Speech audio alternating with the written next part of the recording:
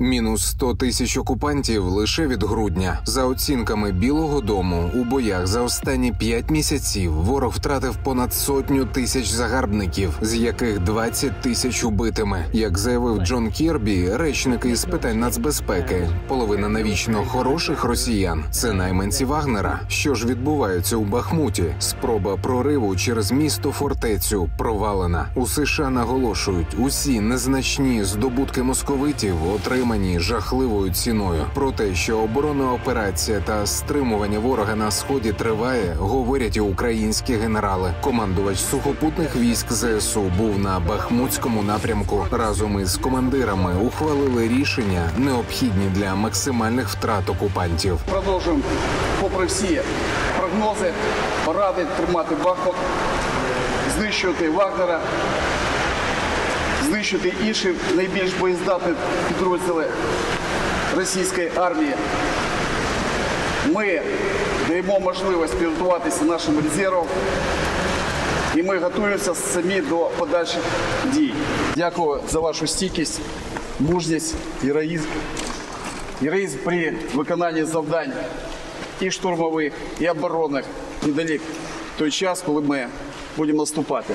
Я в це вірю, вірю в вас. Дай Бог вам всім здоров'я, успішного виконання завдань і головне, щоб після їх виконання ви поверталися свої підрозділи живими і неушкодженими. Слава Україні!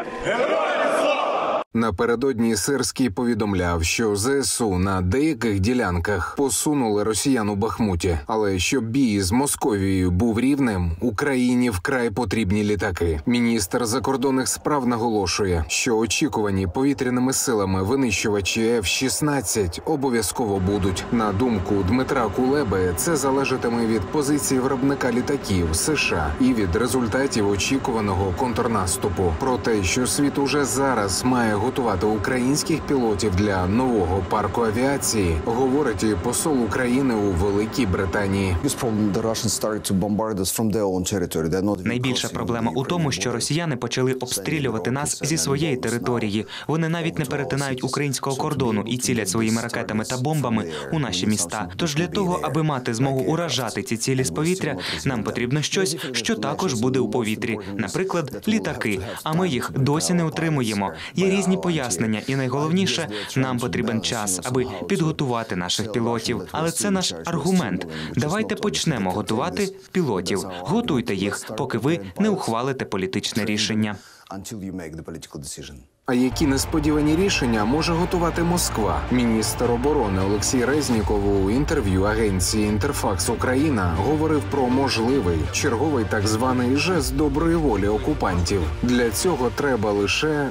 Техногенна катастрофа на території Росії. Резніков каже, що нині Кремль опрацьовує усі сценарії, якими можна виправдати поразку власного недовійська. Тож, якщо сфальшувати чи навіть спровокувати ймовірну аварію на російській АЕС чи ГЕС, буде причина залучити велику кількість армії і пояснити зменшення активності в Україні. А доки російські атомні станції ще оминають штучні катаклізми, постійна катастрофа переслідує окупантів на території України. Минулої доби не побачить жесту доброї волі ще понад 4,5 сотні загарбників. Знищено ще один танк московитів, бойову броньовану машину, 9 артилерійських систем, 3 системи протиповітряної оборони. Підбито ще один безпілотник, 15 крилатих ракет. На металобрухт перетворилися ще 6 одиниць автотехніки та одиниця спеціальної техніки рашистів. ЗСУ нищать ворога на передовій. Світові політики нищать ворожу пропаганду перед десятками телекамер. Спікер Палати представників Конгресу США, республіканець Кевін Маккарті, різко зупинив російського пропагандиста, який чомусь вирішив, що він ставить запитання не у вільній країні, а на Первом каналі.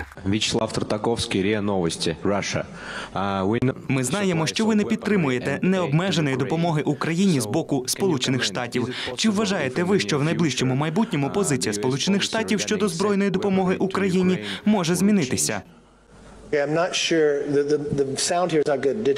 Не впевнений, що розчув вас. Ви сказали, що я не підтримую допомогу Україні. Ні, я за підтримку України. Я не підтримую те, що ваша країна зробила з Україною. Я також не підтримую вбивства вами дітей і вважаю, що Росія повинна вивести свої війська з України. А підтримка України сполученими штатами триватиме і надалі, адже світ чудово розуміє, що відбувається насправді.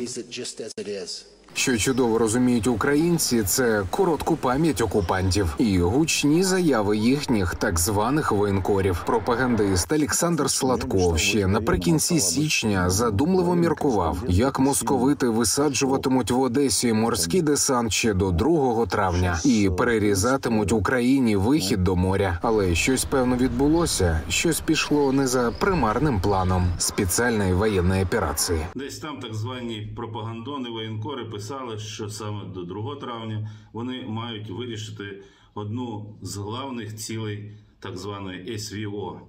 Вони мають штурмувати Одесу, начебто набрали для цього потенціал, мають помститися за крейсер Москва. Так от, е, щоб довго не говорити, просто можу сказати: за курсом російського корабля ідіть на юг. Отакий вам штурм Одеси. Олексій Пасак, п'ятий канал.